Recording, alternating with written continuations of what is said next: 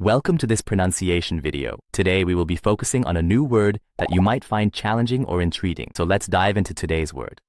Ausrichtung, which means Orientation, alignment, direction, arrangement, or the organization of something. let's say it all together. Ausrichtung.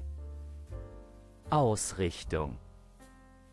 Ausrichtung. One more time.